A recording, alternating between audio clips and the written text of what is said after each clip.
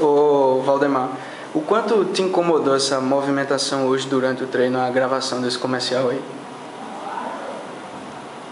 Posso falar nada a respeito disso? Deixa pra lá.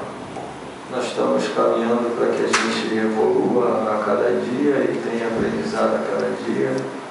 Né?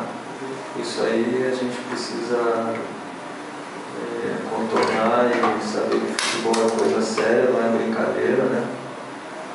E às vezes as pessoas, até mesmo um apelido, prejudicam o trabalho, prejudicam o jogador, né? conforme a gente conversa, se não for uma coisa planejada, se não for uma coisa feita com carinho, se não for uma coisa organizada, né? mas o futebol cabe tudo, infelizmente as pessoas acham que deve se acontecer tudo através do brinquedo, talvez, não sei.